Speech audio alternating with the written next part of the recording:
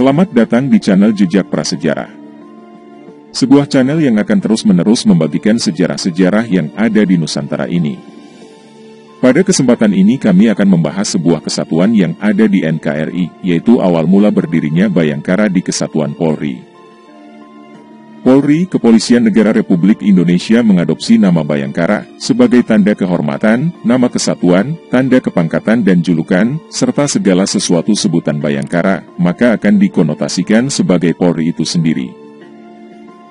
Bayangkara dalam bahasa Sanskrit memiliki arti wangun atau angker, atau indah, penuh wibawa juga bisa disebut gagah perkasa dan mempesona. Mengenai Bayangkara di Nusantara ini, kami akan membahasnya secara singkat, silahkan simak videonya sampai selesai. Bayangkara pertama kali dibentuk oleh Prabu Kertanegara dari Singhasari atau Kabupaten Malang, Jawa Timur. Pasukan Bayangkara pada zaman Prabu Kertanegara berisikan orang-orang yang pilih tanding.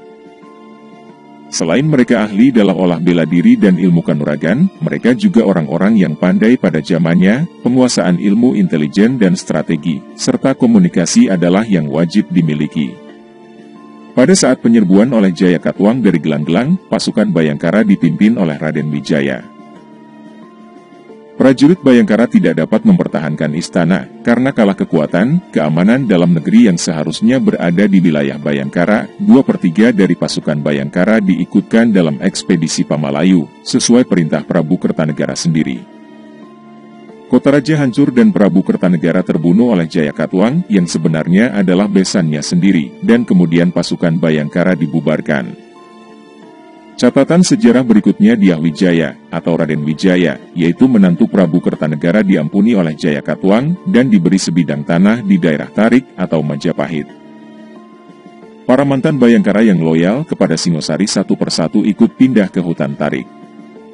Akibat dari kehancuran Singosari, kekuatan militer di Sesirah Melayu yang semula terdukung kekuatan Singosari menjadi lemah. Tak heran armada Mongol dengan mudahnya masuk ke Nusantara. Bahkan beberapa kerajaan kecil di Sumatera mengirim utusan tanda takluk kepada pasukan Mongol. Kemudian sejarah mencatat pasukan Mongol akhirnya dapat dikalahkan dan sebagian besar dari mereka terbunuh, bahkan hampir seluruh perwira pasukan Mongol tewas oleh Raden Wijaya dan pengikutnya. Melalui taktik yang brilian, hal tersebut tentunya tak lepas dari peran besar para mantan Bayangkara. Pasukan ekspedisi Pamalayu, termasuk kesatuan Bayangkara baru sampai kembali di Jawa, 10 hari setelah kekalahan pasukan Mongolia. Kemudian saat menjadi Raja Majapahit, Raden Wijaya atau Prabu Kertarajasa Jayawardhana menghidupkan kembali kesatuan Bayangkara ini. Sedikit sekali catatan sejarah mengenai pasukan Bayangkara pada masa Singasari menjadikan Bayangkara pada masa Majapahit lebih tersohor, bukan saja karena peranan Rakrian Mantri Mahapatih Gajah Mada yang menjadi tampuk pimpinan pasukan, tapi juga karena Bayangkara pada masa Majapahit tertuang dengan jelas dalam literatur-literatur kuno, seperti Negara Kertagama dan Pararaton. Di tangan Mahapati Gajah Mada, kesatuan Bayangkara menjadi kekuatan sipil yang sangat berpengaruh pada zamannya sehingga keselamatan para raja dan keluarganya berada mutlak di bawah kewenangan dan tanggung jawab Kesatuan Bayangkara. Kesatuan Bayangkara sebagai kekuatan sipil telah memberikan kepercayaan yang sangat kuat di hati masyarakat sebagai pengayom dan pelindung rakyat. Awal ketenaran nama Bayangkara dimulai ketika munculnya pemberontakan Rakuti yang berhasil dipadamkan oleh Gajah Mada dengan pasukan Bayangkara. Gajah Mada yang ketika itu memimpin pengawal raja, membantu Jaya Negara melarikan diri dari ibu kota dan menyembunyikannya dari kejaran pemberontak. Kemudian Gajah Mada melancarkan operasi intelijen untuk menyelidiki kondisi ibu kota Majapahit di bawah kekuasaan Rakuti. Gajah Mada menggelar survei kilat untuk memetakan sikap para bangsawan kerajaan terhadap posisi Jaya Negara. Dari sana dia tahu bahwa dukungan publik terhadap Jaya Negara masih kuat.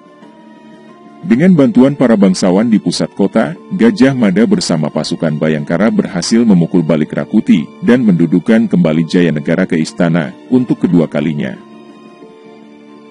Setelah Prabu Jaya Negara meninggal, Majapahit dipimpin oleh Tribuana Tunggadewi Jaya Wisnuardani dan adiknya Diahwiyat Raja Dewi Maharajasa pada tahun 1328 sampai tahun 1351.